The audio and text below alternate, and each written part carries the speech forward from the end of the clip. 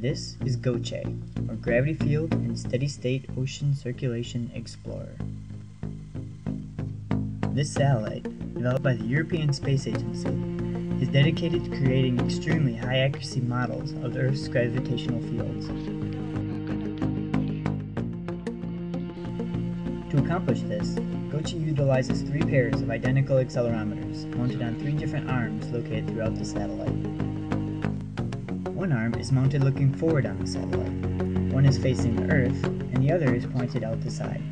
This gives us high quality measurements to build our model of the Earth's gravitational field. GOCE's launch is scheduled for September 10, 2008, aboard a SS-19 ICBM rocket launcher. At approximately 180 seconds after liftoff, the aircraft will shed its outer fairings as it continues to accelerate. 90 minutes after launch, the satellite will separate from its launch vehicle and settle into orbit a mere 155 miles above the Earth's surface. While in this relatively low Earth orbit, the atmosphere has a great effect on the satellite. The tall fins provide stabilization as it moves through what little air there is. The satellite's ion propulsion system will counteract the drag then encountered at these altitudes.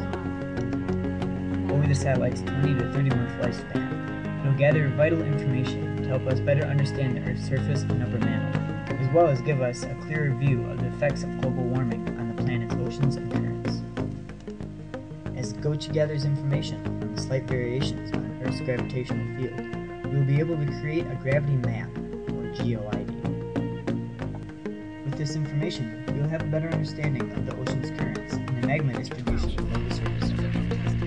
Will help us better understand plate tectonics and be able to predict earthquakes. With this technology, we'll also be able to gauge how fast the polar ice caps are melting and their effect on the ocean's sea levels. As the launch date approaches, the world awaits, eager to learn what new and exciting discoveries will come from the gravity field and steady state ocean circulation explorer.